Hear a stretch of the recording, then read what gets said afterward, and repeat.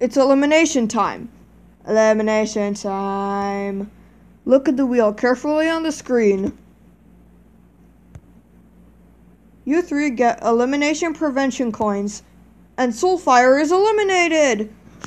oh! The next contest is a mountain climbing contest. The team that climbs up last is up for elimination. Go!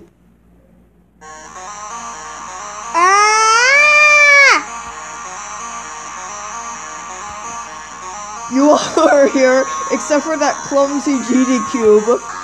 Since Team Umami is last, they're up for elimination. What?